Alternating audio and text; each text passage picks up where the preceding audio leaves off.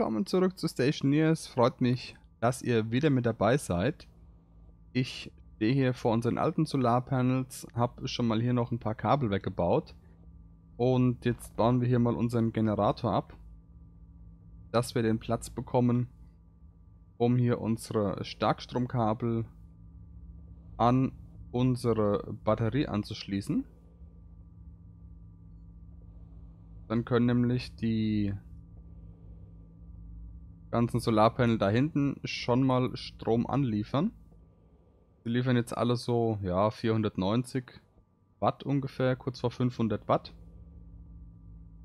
Und wir brauchen noch ein paar mehr Kabel, um diese Solarpanel, die wir hier oben haben, auch noch anzuschließen. Und bevor ich jetzt aber erstmal dahinter gehe, baue ich ich hoffe mal, es funktioniert, ohne dass wieder irgendwas durchbrennt. Gerade mal noch hier unsere, unser Batterie, Batterieladegerät wieder mit an. Gucken. Noch ist nichts explodiert.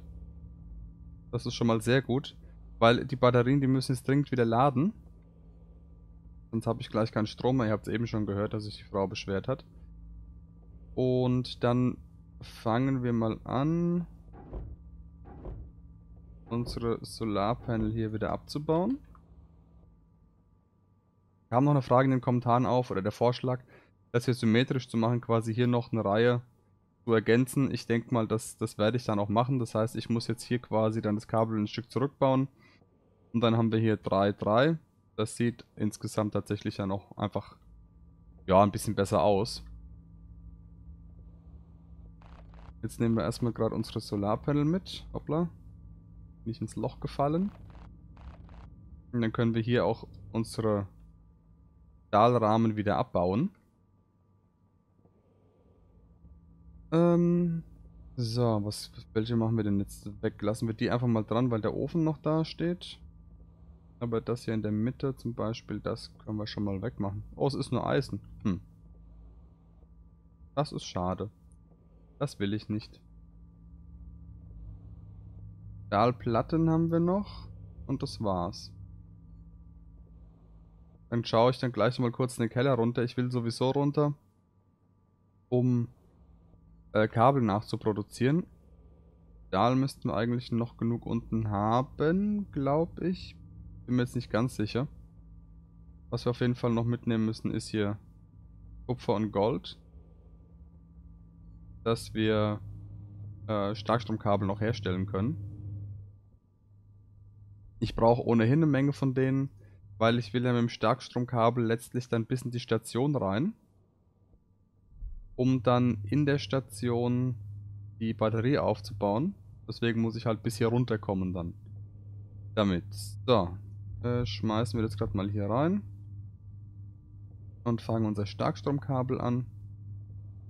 Und hier brauchen wir die Stahlrahmen. Oh, da haben wir noch genug Stahl. Das heißt, wie viel haben wir denn hier? Sechs Stück. Die reichen mir eigentlich sogar erstmal. Sieben Stück. Dann habe ich jetzt noch sieben Stahlplatten oben. Da kann ich das alles mal auf Stufe 1 soweit schon mal schweißen. Die Frage ist, mache ich jetzt da wirklich 100 Starkstromkabel? Ich meine, Schaden tut's nix. Ja, ich weiß, Madame. So, da haben wir jetzt noch 49 von den normalen Kabeln. Das reicht mir aber auch. Also ich habe bisher noch 23. Das reicht mir zumindest, um die Steuerung anschließen zu können.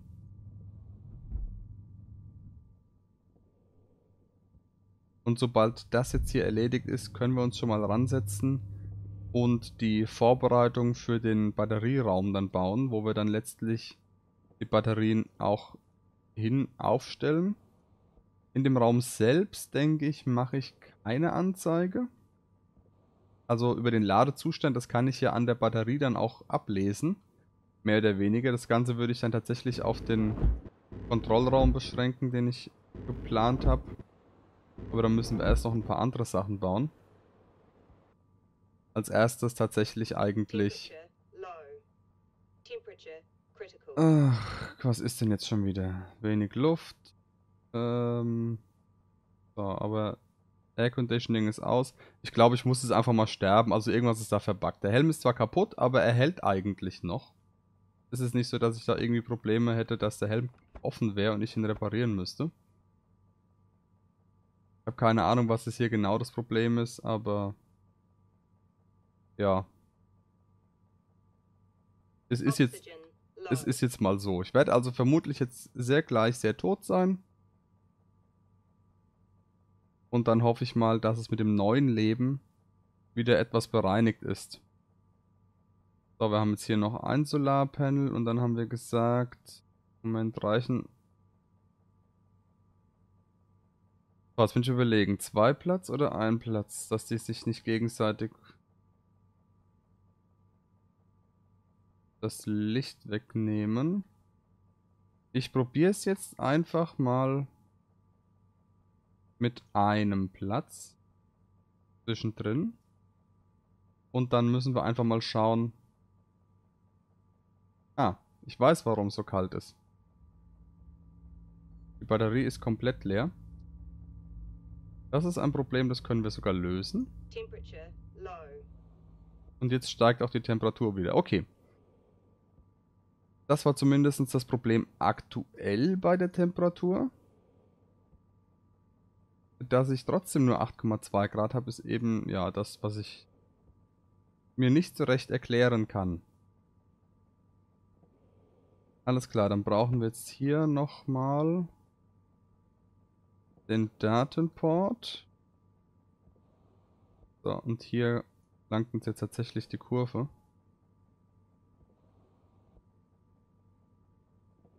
1, 2, 3. So, und hier gehen wir wieder nach hinten.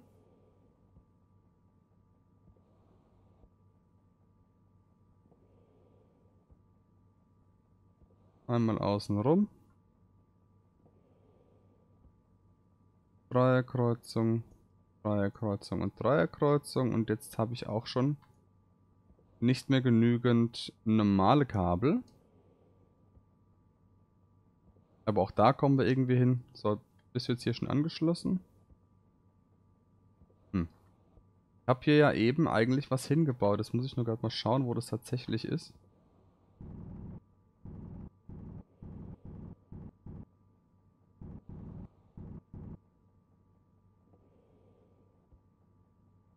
Ja. Okay, keine Ahnung.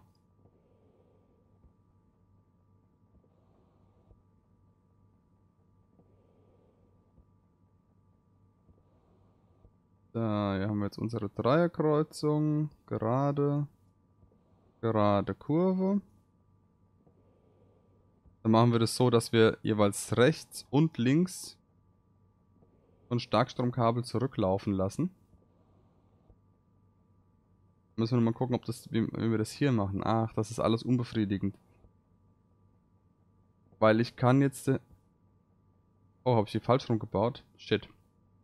Ähm, ich kann jetzt hier natürlich in der Mitte nicht zurückgehen, weil ich da ja mein Datenkabel durchlegen möchte. Ich könnte allerdings, was ich machen könnte, ist, wenn ich doch das Stromkabel nur auf eine Seite lege, dass ich die Datenkabel, aber dann, dann kreuzen sie sich trotzdem.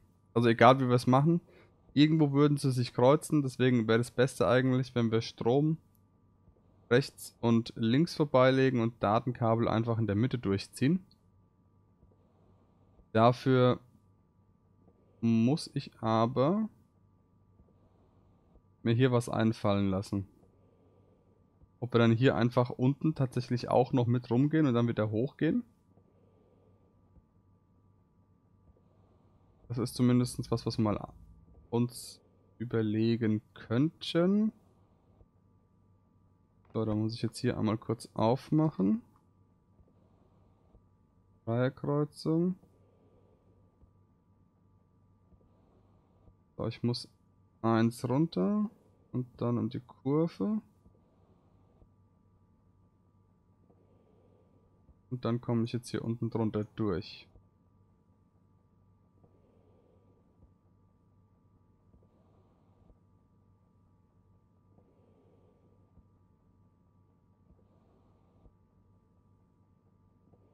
Das würde soweit passen. Jetzt muss ich halt nur Könnte natürlich auch, wenn ich jetzt hier die Datenports habe, einfach jeweils den Datenport noch bis rüberlegen.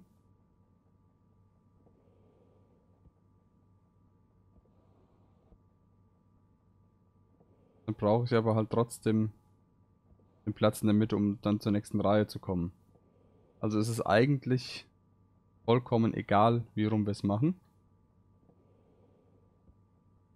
Ähm, ach shit, ich hatte ja schon die Dinge eingebaut, ne? Glas. So, einmal zur Seite damit. Das weg, das weg.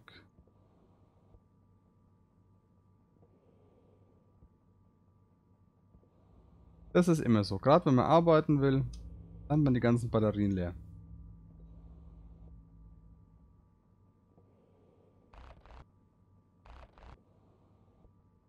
Alles klar. So. Die sind abgebaut und jetzt kommen sie wieder hin. Nur, dass diesmal der Datenport an der richtigen Stelle sitzt. Glas. Überall noch rein. Ähm, da ist mein Starkstromkabel.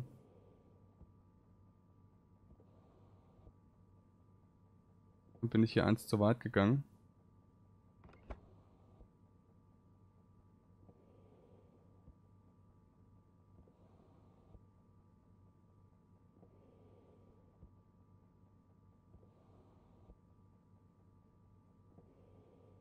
Und wie ihr seht, wir brauchen halt auf jeden Fall noch ein paar zusätzliche Starkstromkabel.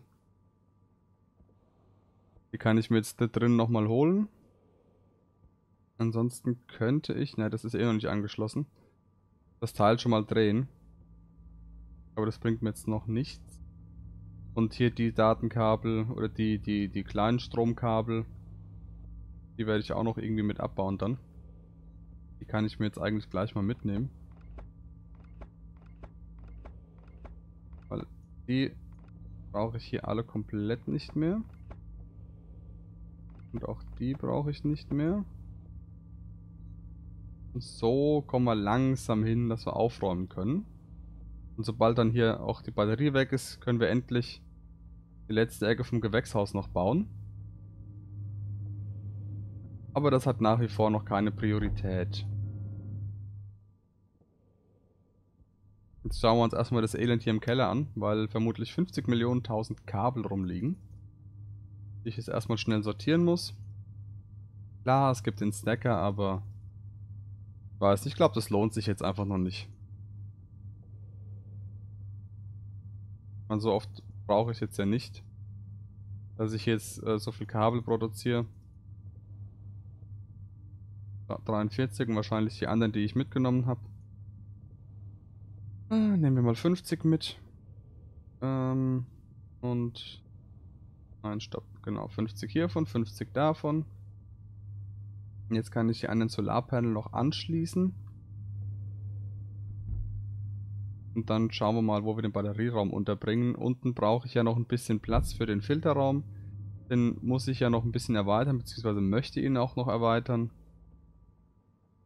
Um eben das da nicht so auf den letzten Drücker alles irgendwie reinzuquetschen. Das ist dann auch ein bisschen blöd. Wenn man ein bisschen mehr Platz hat, hat der Peter schon ganz recht.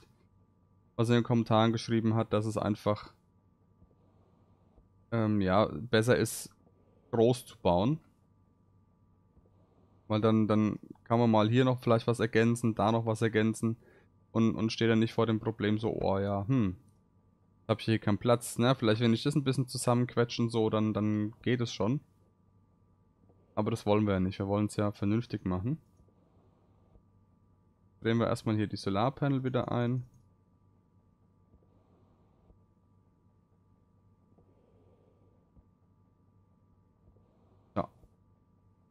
dann, ja, hm, hm, hm. Jetzt müssen wir gleich mal schauen. Die produzieren jetzt 10 Watt und die 11 Watt. 12 Watt, 13 Watt. Ja, okay. Also wenn wir eins zwischendrin haben, sollte es funktionieren. Zumindest von den Daten, die ich bis jetzt habe. Oh, da ist noch ein kleiner Ausreißer. Müssen wir nochmal noch drehen.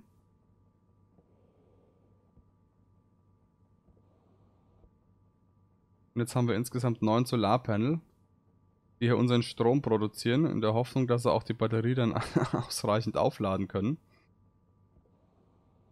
Dass wir dann die gesamte Station betreiben können. Wir 84 Watt, 130, 44, 45, was? Da muss wohl gerade irgendwo ein, ein Sonnenspike gewesen sein. Auf jeden Fall die, die ähm, geblockt sind durch die vordere Reihe, erzeugen genauso viel Strom wie die hintere, dachte ich. 350, 60, 60. Dann sind die wohl doch ein bisschen geblockt.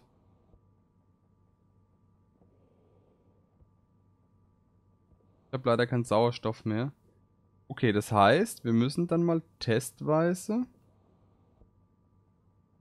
hier vorne die erste Reihe noch eins weiter nach vorne ziehen, dass die Sonne da besser Platz hat. Ich meine, sobald die ein bisschen gekippt sind, ist es eigentlich egal, aber ich würde es gerne mal einfach ausprobieren, äh, wie es insgesamt dann ausschaut, ob wir da noch ein bisschen mehr rausholen können. Wir sehen uns gleich wieder, wenn ich wieder zu Atem gekommen bin. So, back in business. Unsere Solarpanel haben sich ein bisschen weiter gedreht. Jetzt haben die hier 191 Watt und die hier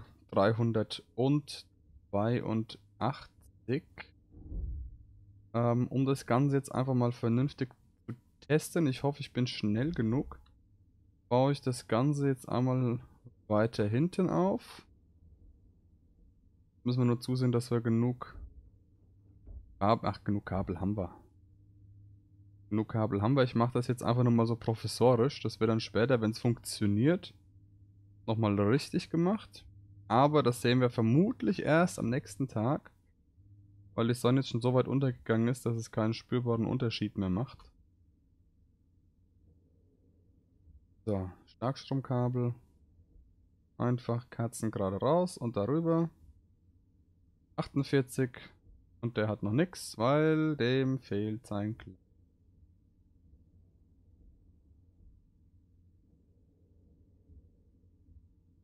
So, jetzt bin ich gerade mal minimal irritiert. Ach ja, kann ja nicht funktionieren. Die blöden Solarpanels sind nur untereinander angeschlossen weil ich genau hier eigentlich durch müsste. Okay, professorische Lösung. Einmal oben drüber, einmal durch. Zack. Wird natürlich noch richtig gemacht. Und hier drüben wieder runter. Machen wir es mal von hier vorne, dann treffe ich hier die Spitze besser.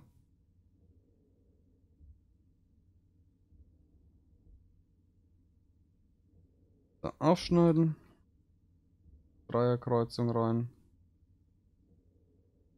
Und schon kippt das Ganze. Jetzt brauchen wir noch unsere